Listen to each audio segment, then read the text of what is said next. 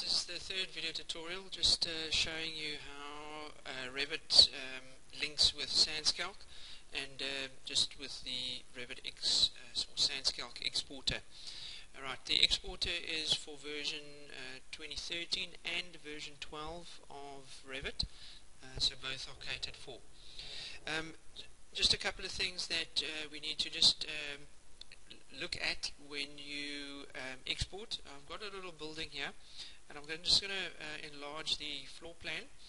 Um, the first thing uh, we just need to look at is um, your all your walls need to just be pointing to the outside. Um, now how you know um, that it points to the outside is that um, that's the, the wall orientation. So that little uh, double arrow needs to just point to the outside and in this case this uh, wall is um, drawn so that the outside is actually on the interior.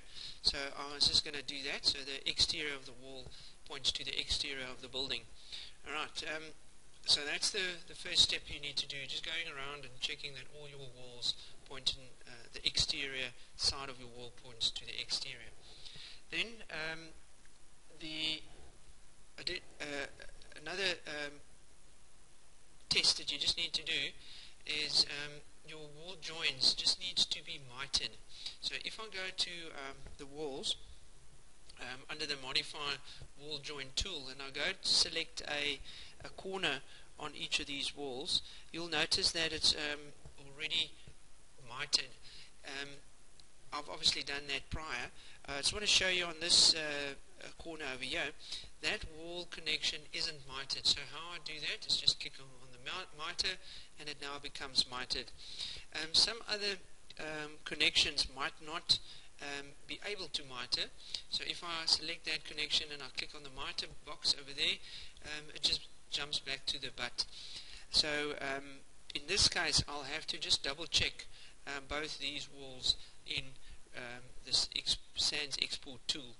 Now, a nice tool that we brought in is if I look at this um, wall you'll notice its properties it doesn't have a mark by default. Now our tool would assign a mark to these um, walls so that you can double check and uh, cross-reference the information from SANSCalc into your walls and the marks provided. Right so that's uh, another check and then also just make sure the third check is that uh, these external walls, if you go to its uh, prop type properties, that they are uh, an exterior wall. Now, also note that if you have interior walls, just double make double sure that they are not exterior, but uh, something else, like uh, for instance interior. Alright, so that um, SANSCalc only looks at the exterior um, walls and exports that. Right, I'm going to just uh, do that and um, now I'm going to show you how um, the uh, export works. Um, once you've installed it you can go to the add-ins. Um, there's an installer for 32-bit Windows and an installer for 64-bit Windows. Right, downloadable from um, the SANSCalc website. Alright, you go to the add-ins tab and then uh, under the external tools you'll notice uh, SANSCalc export is over there. Once you click on the, the SANSCalc export button, it looks at your drawing and then uh, opens up the export um, dialog box. Right, this dialog box then um, contain all the elements including your uh, your facades and your curtain walls. Right, looking at the rooms, this is the room area that um, that we have. Um, Currently we only have one room. Um, it looks at the room objects. Then uh, it looks at the fenestration elements. All of them are on ground floor. Their marks, height, width, areas, and their orientation. These orientations are based on the walls orientation. Remember we changed one of these walls to, to be exterior. Um, if those are all pointing to the exterior, these orientations will be correct. Alright, so I'm going to take all the windows to be exported and um, similar the, the doors over here in the middle there's a door its also orientation is based on the wall uh, or, or its host's orientation Right. then uh, the hosts or the, the walls, um, they are uh, in the facades. Now here is the marks that have automatically been assigned to each wall so that you can cross-reference. Um, all the lengths have also been picked up um, and um, you'll notice um, you know the, the wall lengths are correct. It picks up the exterior uh, length of the wall and that's why we had to mitre some of those um, information. Right. Um, right. The over here on that corner, you would notice that this wall here um, um is not correct, as it's uh, the corner over there wasn't mitered. Um, the curved wall there is also uh, correct, um, and, uh, and, and so on. Looking at the the curtain walls, and uh, there's a curtain wall over here that's the, the length of the curtain wall, which is also um, correct. Alright, so it picks up 99% um, uh, of the, the walls correctly. You'll just have to uh, manually just double check. I'm going to just include all of those. Uh, forgot to actually include them. I go to export and i give this a project um, name project name um, from Revit 2013 and you just click save. Now what it does, it creates that uh, database file. So in the background, uh, could be open, so it's uh, not a problem. Um, what it also has created or done is it has assigned um, marks to each of these walls. If I select that wall, scroll down, there's the mark.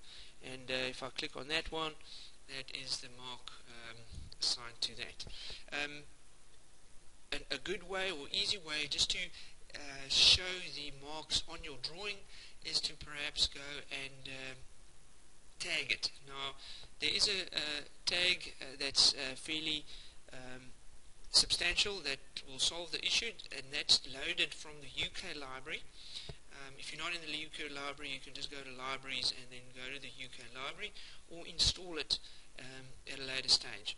And then go to annotations tags and scroll down to the wall tags. Uh, it'll be wall tag number one. Open that. It loads that specific UK uh, wall tag into your um, uh, drawing and then you can go to annotate at the top and tag all tagging all the walls with your new um, wall tag uh, 1 number only. Apply that and say OK and you'll notice uh, there's a little number next to each wall and these are the um, walls that's been assigned um, to uh, to just cross check and uh, double check your wall lengths from SANSCALC into um, into your, your current drawing right I'm gonna at this stage just uh, minimize that um, I have now um, this is SANSCALC I'm busy with something else and um, perhaps I now want to open my exported drawing. So I'll just click on open. What it'll ask me is uh, the current information that I'm currently busy with. Do I want to save that and close it? I'll say yes. Right. Once that's saved and closed, it'll ask me which file do I want to now open. So I scroll down to my uh, exported database and I open that and uh, it'll then replace whatever I had with this new uh, drawing file. Just to make double sure here at the top, you can just double check and see, alright, this is the, the, the, the, database that I am busy with. And you'll notice that um, I've got two levels here. This level is basically was my roof level. It doesn't have any floors and, anything, so um, I can typically just uh, delete that level uh, from my database. Right, so the ground floor is what I require. So um, looking at the rooms, there's the rooms, and off the bat I can actually go and uh, save this and see if I exceed or um, not the 15% requirement um, of my glazing. So I can see, alright, I exceed the 15%, um, so I need to perform the calculations. Right, um, the reason why this is um, there is that um, now you need to go and focus on your um, uh, uh performance. If that has been less than 15%, you don't have to do um, the calculations. Right, so now that I need to do the calculations, there's my room. Um, perhaps I'm going to want to do um, mechanical and natural, so I'll, I'll, I'll do the facades as well. Right, now um, looking at the facades, that is uh, going to be S1. Why? Because on the right hand side there is the S.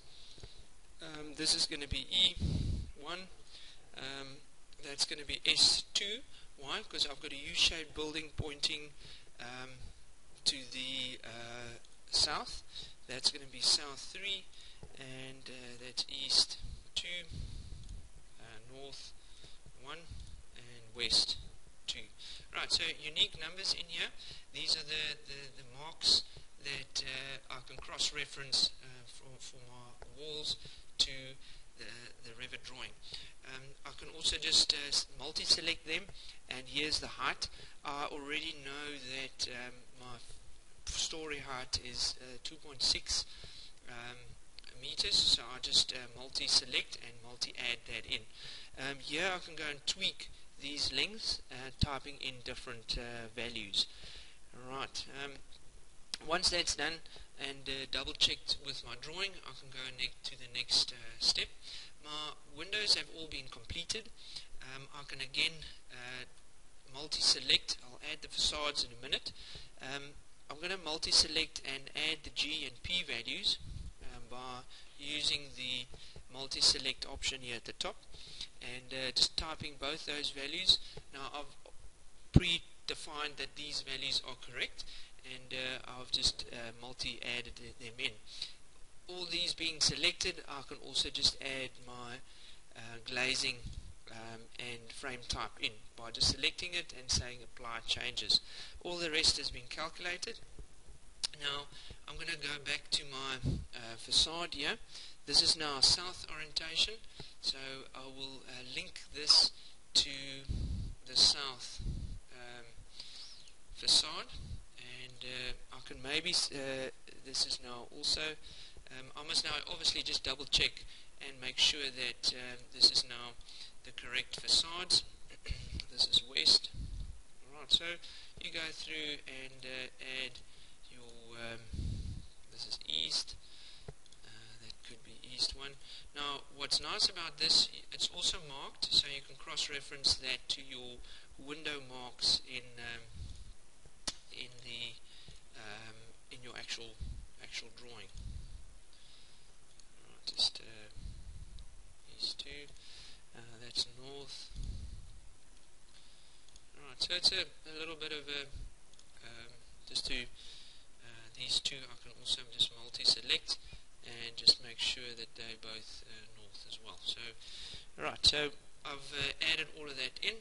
Um, obviously just double checking them um, via the, the actual plan.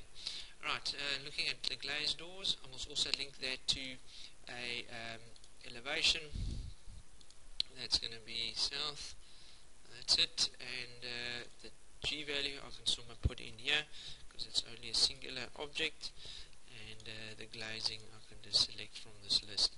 Um, as we said earlier if this glazing is uh, custom you can also add it in um, as a custom adding your custom U and uh, solar UCAN values. Right that all gets calculated and uh, that should be fine. I've got one curtain wall in here.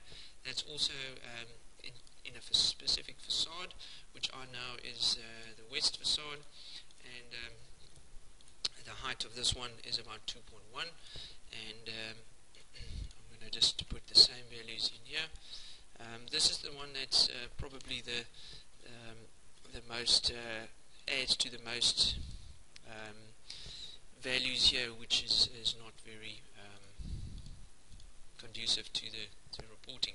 Right, uh, at this stage, um, what I haven't done is I haven't set up my zone, so I can select the zone from, uh, say, Port Elizabeth, and then, uh, say, do all calculations. Um, the reason why I say do all calculations is I've already got uh, information here which just needs to be updated uh, based on my zone. Um, save all of that, and then I can go and do um, my report. Right, uh, selecting my report, I include the mechanical ventilation as well because I've done all the facades and then my uh, cover page.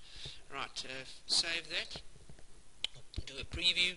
There's the um, the areas over here um, and uh, the natural uh, ventilation. Um, it's non-compliant because my glazing actually exceeds the allowance um, and it's typically that um, um, the curtain wall that uh, does that. Right, here's some of the um, elevations. I've actually just picked up uh, glazing per uh, facade, uh, which I don't think is right, but anyway, um, I should have double checked it. Um, on this side here, there's a non-compliant because that aggregate energy value exceeds the allowable energy value and then the whole facade or the whole mechanical um, one um, is non-compliant. Now just a double check to, to maybe reduce some of these elements. I can go into the windows and let's just go back to the report and just uh, have a look at these values over here. Um, I'm going to go back to the windows and maybe that glazed uh, curtain wall and change its um, glazing here to single low uh, aluminium. Uh, the values obviously update. Maybe I can go to all my windows as well and uh, change them to low E and uh, aluminium. Apply the changes and uh, go and save. This is a, a way to troubleshoot once you've saved this, you can go back to report and just draw a new report and see how the values have changed in your uh, building. Right, so it's been taken down from about 300 odd to, uh, and this one is nearly com uh, compliant. Some of these values have also uh, have also now changed.